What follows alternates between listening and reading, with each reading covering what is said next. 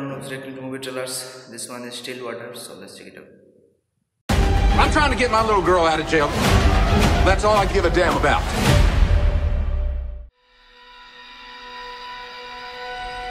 The day you left for Marseille,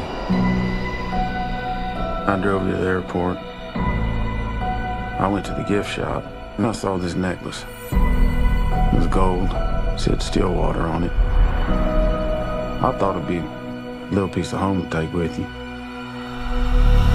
Some folks are born made to wear the flag. You're in Marseille for vacation? Yeah, I visit my daughter. You're the father of the girl, the, the American student? Yes, ma'am.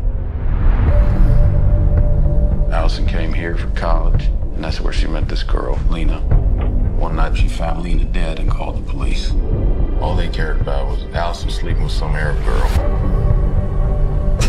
I loved her, I know you did. but everybody thinks that I killed her. We have exhausted every possible legal action.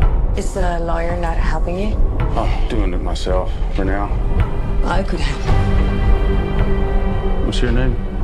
Maya. Maya. Oh, that's nice. She's very protective with me.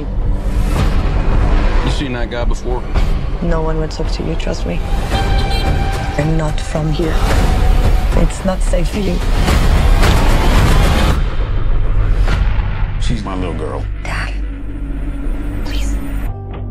I'm not gonna give up. It will be a serious mistake to commit a crime to prove your daughter innocent. It will not get her out of jail, and it will send you in. Lord, please keep a watchful eye on Allison. Amen.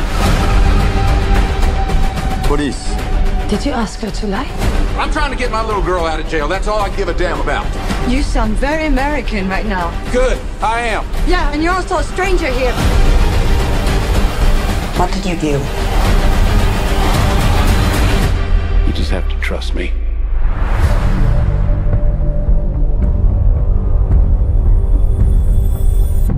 So it stars Matt Damon and Abigail Breslin. It looks like a kind of a crime drama mystery type movie. Plot is mysterious as father trying to clear his daughter murder charge in some foreign land, I think.